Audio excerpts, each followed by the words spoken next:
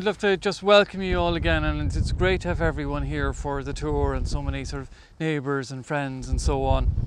You know, when and myself were originally talking about these six areas, we said, wouldn't it be brilliant if we could get a group like this, put them in a bus, and we travel to each of the six areas one by one, and we'd be we could be the first people to do it since the Neolithic. Of course, with the COVID, we knew that wasn't going to happen.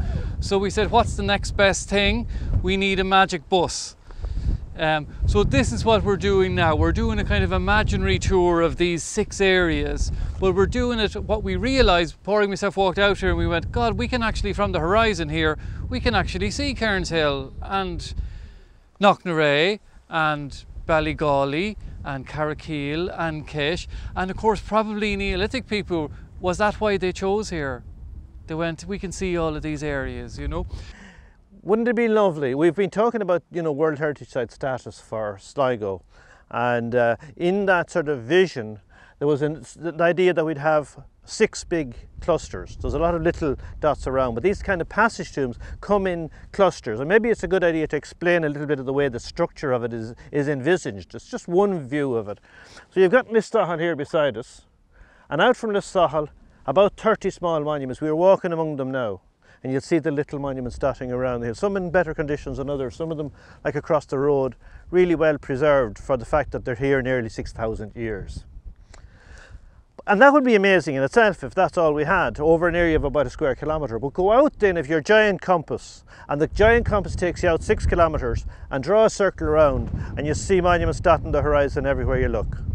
Um, and that's the Cúil Irra, as you know, this is the peninsula of Cúil Irra. In a way, that's the Cúil Irra complex, and I'm going to take you on a trip around some of them. And then my colleagues, Robert and Austin, later will bring you further along that route.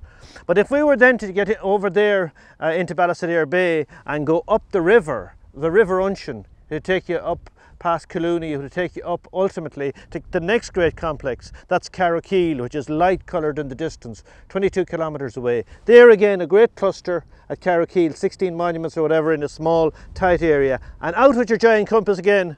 And again, within an area of six kilometres, lots of monuments dotting the horizon again. So those two great centres were what it was envisaged. And in, within them are six big clusters. This place here, Carrowmore, Knocknarea over there, I'm going to talk about in a second. Then over Cairns Hill in Sligo town, and there would have been originally, we know of at least four monuments that would have existed in the zone where Sligo town uh, area is now. Then over to Ballygawley, and Austin will talk more about Ballygawley in a little while. The four rounded hills there, a number of monuments over in that region around Ballygawley. We have some representatives as well from Ballygawley in that, in that department. Uh, and then we have uh, Carrowkeel. Um, we had the Carrowkeel gang here earlier on, uh, there might still be some of them around. And then we have Kesh.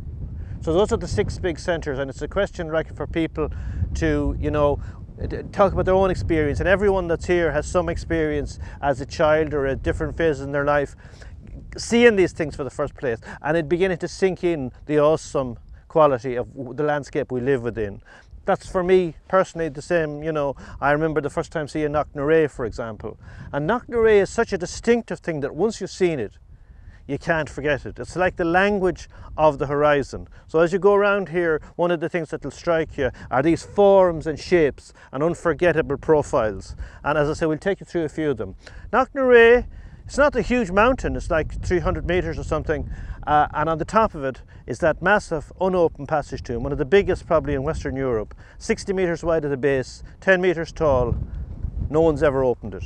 This county is distinctive because there's about 10 big monuments, not quite as big as that, all of them, some of them, but up to sort of 20 metres in diameter that no one's ever opened. They include the pinnacle on the top of Kesh, they include some of the Ballygawley Mountains, the two at Cairnshill, and, and, and so on and so on. Around Knocknarea at the peak, there are nine other small satellite tombs, much as you have satellite tombs around here.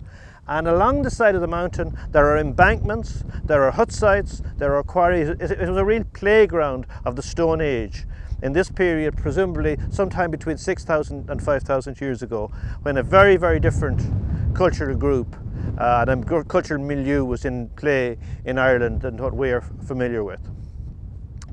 As we travel along the horizon, though, there's lots more to see. And as now, there's a little cloud coming in, but under the cloud there, as you go over there, you see the lovely green hills in the distance, and there's a couple of telegraph poles there. If you come up from those telegraph poles, you have Knockalongy, or Cnochakree, and that Cnochakree is the highest peak in the Ox Mountains, and it's a really strange, alien, boggy, sandy, unfamiliar landscape. It, it's nothing to do directly perhaps with climate change in the immediate sense because we look at photographs from the 1960s and that's still in play then but it certainly is a, is a dangerous place to go if you don't know where you're where you're going if you, if you haven't got a familiarity. There's two cairns there.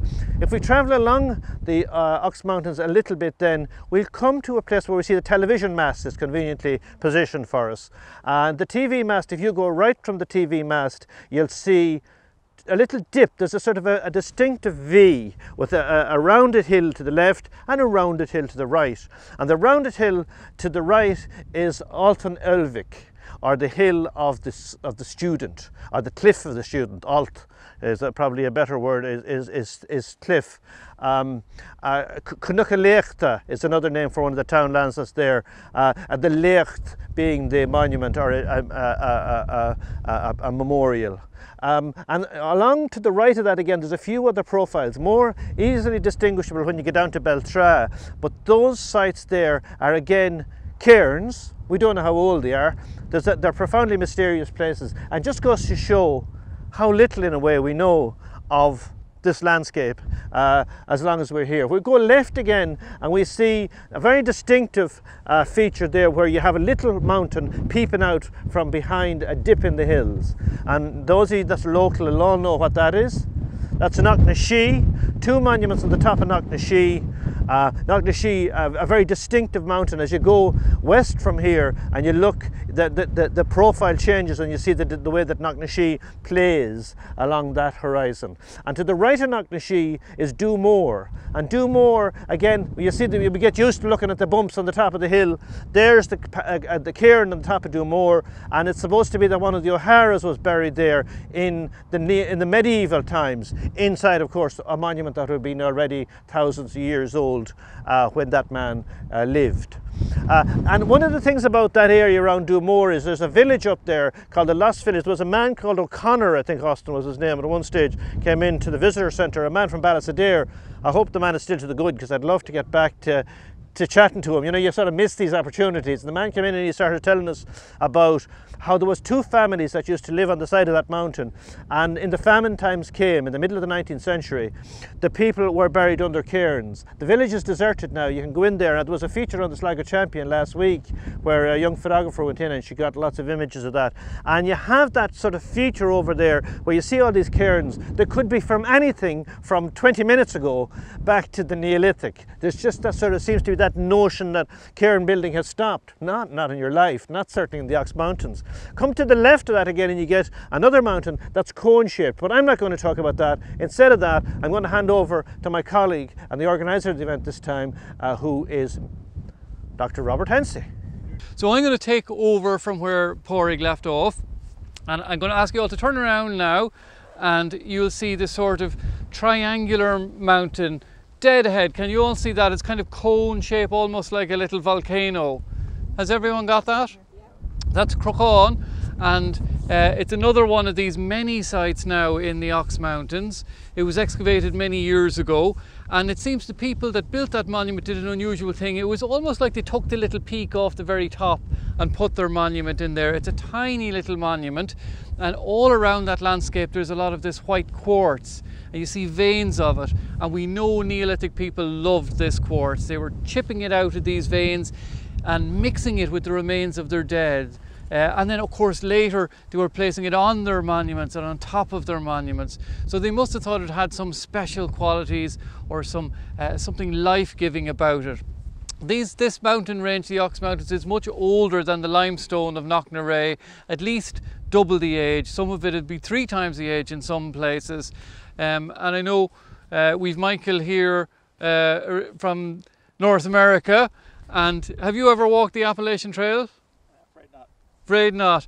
Well, has anybody been on the Appalachian Trail? Does anybody know about it? So the whole east coast of the States is the Appalachian Trail, this enormous great walk that people walk for months.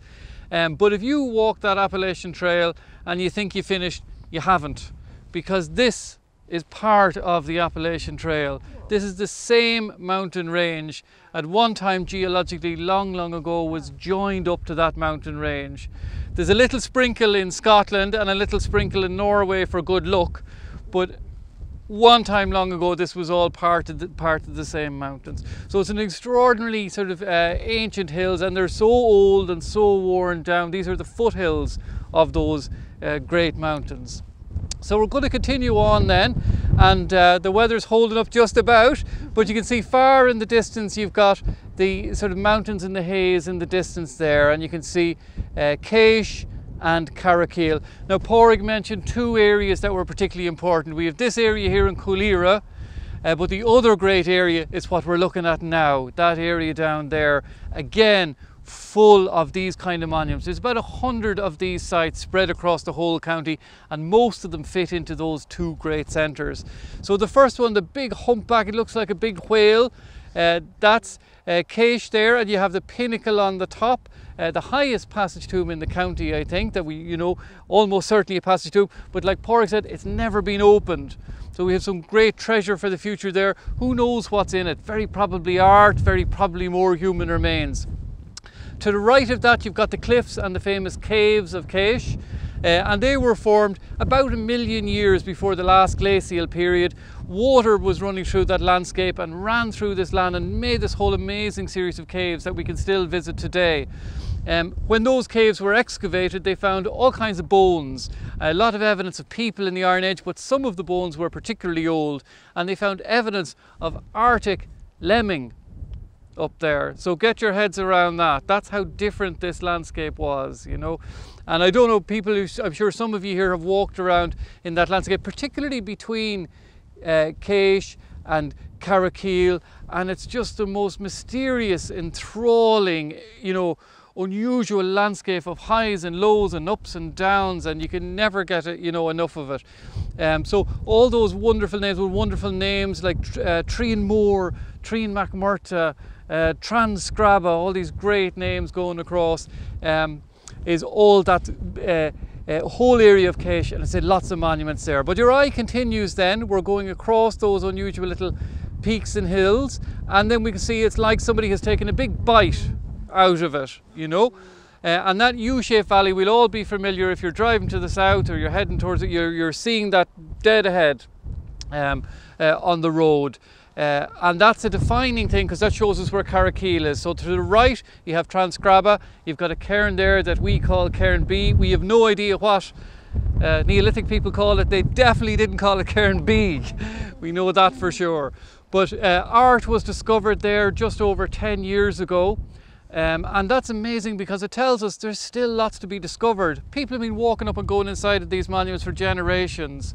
Um, and as Pádraig said, these are 6,000 years old. So if you think of your parents, your grandparents, your great grandparents, and do that 400 times, then you're back to when these monuments were built. Um, so it, it's an extraordinary journey, and we're sort of part of that journey. And the amazing thing is, what we're starting to learn now from the DNA of these people is that um, this Neolithic DNA, we all know that all of us probably on this tour have some of that DNA inside us. Now, it might be a very small amount, maybe 5 to 10% or something like that. But these Neolithic people aren't gone, they're actually still here. Uh, and they're inside all of us. So their monuments are here and they're living inside of us. Maybe we're living in their world you know. Um, so that's it, and we know that from Carrowkeel in particular. Um, bones were found there by R.A.S. Macalister. He excavated the site in 1911 with this kind of dream team of scholars. Robert Lloyd Praeger, the most famous naturalist in Ireland, a botanist, you know, famous across Europe, the Clare Island Survey. Uh, the assistant keeper in the National Museum was there doing work. Alexander's father, the most eminent anatomist in Europe, possibly at this time in Cambridge.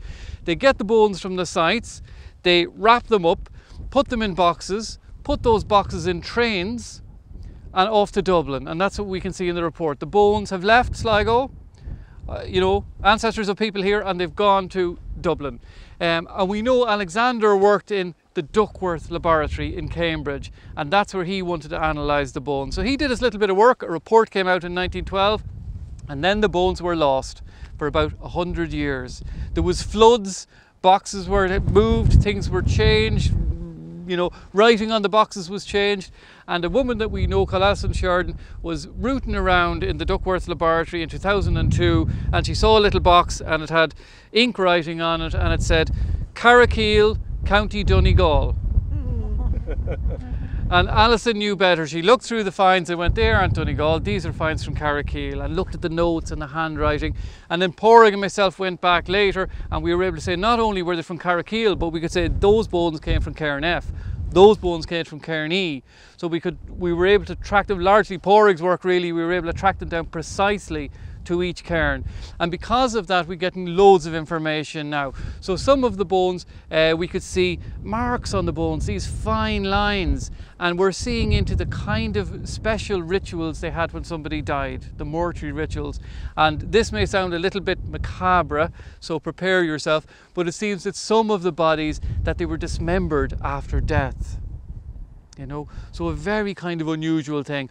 Others the bodies were burned. And you can imagine the community coming from while if you've ever been up at Carrowkeel on John's Eve and you see the fires going up and how far you can see them from you need to imagine huge bonfires with huge heat to cremate these bodies. And the community all around people standing here seeing it you know so an extraordinary kind of uh, event to be involved in.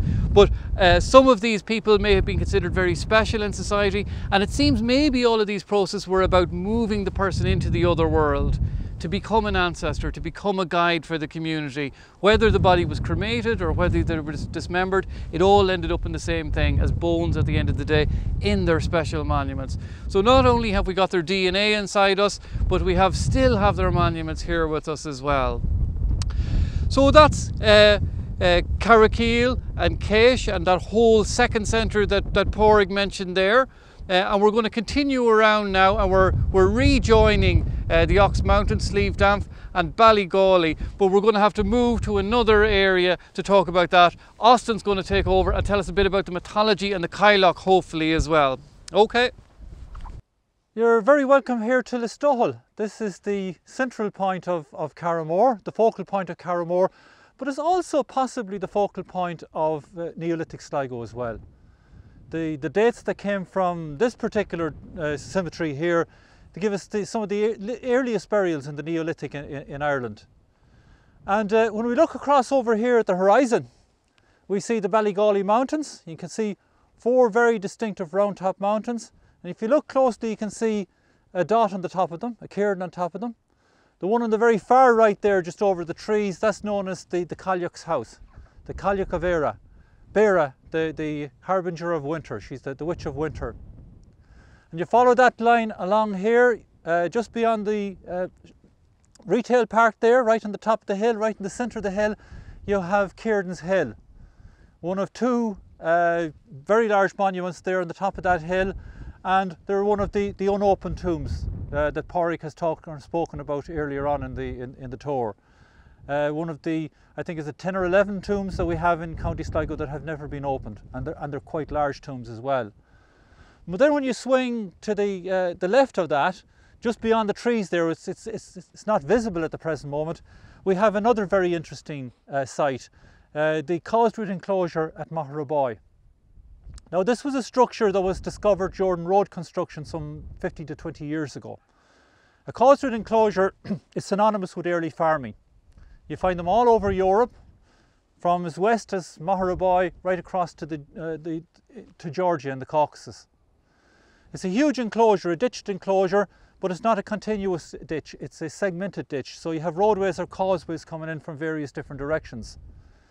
But in, the, in one of the ditches there at, at they found uh, radiocarbon dates, which gives us uh, dates just over 6,000 6, years ago, 6,100 years ago. And it's probably the smoke and gun of the arrival of these people.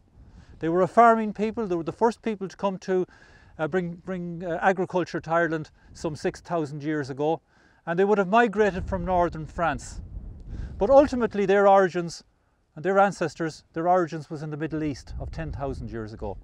They were the people who pioneered farming, who domesticated cattle and wheat, and they brought this knowledge of farming right across Europe over thousands of years. They came through Anatolia, Turkey. 9,000 years ago, they were in north, northwestern Turkey. Then they move into the Balkans and they take two routes to northwestern Europe from, from there. They move along the Danube and they move along the Mediterranean. But sometime around about 7,000 years ago, those two routes converge on one another in northern France.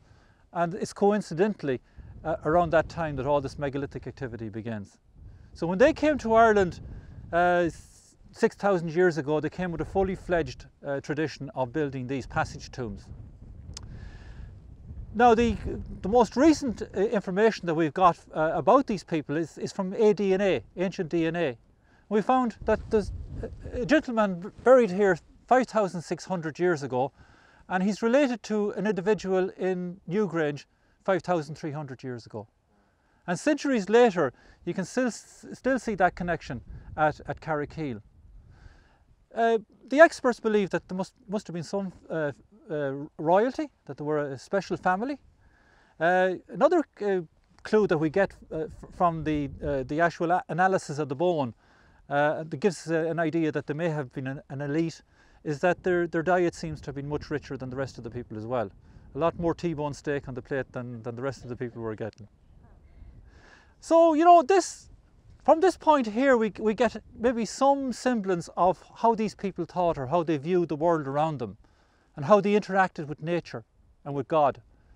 Because this particular tomb we found about 20 years ago has a special alignment. It's aligned towards the mountains here to the, uh, to the east and towards a very particular spot on the mountains. Just beyond the trees there, can you see the, uh, the pole in the field there just beyond the trees? Well, if you come left of that, there's a gradual hollow in the mountain, and it looks as though there's two uh, points defining the hollow in the mountain. Well, the sun rises at that point on precisely the 31st of October and again on the 10th of February. And that marks what we know in Ireland from the Gaelic world, we know it as Samhain and Imbolc. Samhain is better known throughout the world today as Halloween, but Samhain marks the beginning of winter. Imbolc is associated with Bridget, St. Bridget, it marks the beginning of spring. And that connection with the Cailleach and Bridget is very, very interesting as well. Because the people here in Sligo in, in ancient times and up until very recent times, in fact, believed that these mountains here, the Ballymo Ballygawley Mountains, was the embodiment of the Cailleach of herself, the Beara, the Witch of Winter. She's believed to be lying there on her back in the landscape. So the round mountain there to the right hand side, which contains the, the Cailleach's house, that's her head. You can see her two breasts, her belly, and her legs spreading out to, towards the east. And the interesting thing is that uh, the sun rises at this point here, what we call the saddle, on the 31st of October. But it continues its winter journey right across the Ballygawley Mountains, right across each of those summits. And on the 21st of December, it rises just to the right of the, the Cailleach's house. And this gives us probably some idea of how the people who lived here many, many thousands of years, how they thought and how they interacted and wh how they believed what, what constituted their cosmos at that, that particular time. And we get a, we're getting a glimpse into that particular uh, view. Now, the other thing which is interesting about these people as well, we, I, I said to you there that we, we these people brought uh, domestic cattle and, and, and, and wheat and crops to, to Ireland 6,000 years ago. But the interesting thing is that some of those crops and uh, animals were domesticated in the Middle East about 10,000 years ago. We believe that all modern cattle in the fields that you see around you here today, they, they spring from about 80 breeding females uh, from the Zagros Mountains of 10,000 years ago. They all have a common ancestry. Horses, for another, for, for an instance, they seem to have been domesticated on several occasions we seem to go out and, and get round up the mustangs and bring them in and try and try and break them uh, from time to time. But cattle cattle have a, a very very singular origin uh, from from that area of the, of the Middle East. Um, wheat uh, was brought from uh, probably southeastern Turkey and, and Syria, uh, right across Europe. And the interesting one thing I always find very interesting is that in among that wheat they brought a very troublesome weed called oats. It was weeds for, for a while, but uh, once they got north of the, the, the Alps, they found probably that oats grew very, very well there, where wheat didn't grow uh, quite as well. Uh, oats was domesticated much later than, than wheat. It seems to be domesticated in the Bronze Age. So that gives you a perspective of some of the, the stories and some of the mythology that's associated with the mountains. And as I say, the Ballygawley Mountains are particularly interesting as far as Carrowmore is concerned.